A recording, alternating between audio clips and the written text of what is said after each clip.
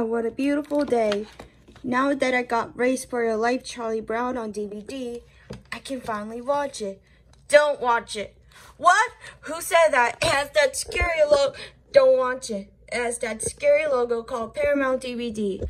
Oh my gosh, it's a pet honeybee. You're telling me that this DVD right here has the Paramount DVD logo on this?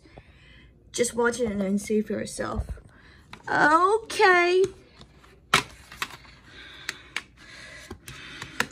I'm just going to put the DVD in the DVD player.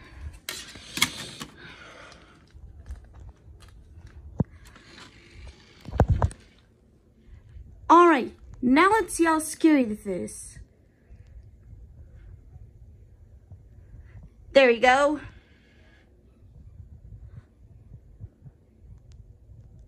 Ooh, stars. Wait, what's that noise? No, no, no, no, no. Whoa! Told you.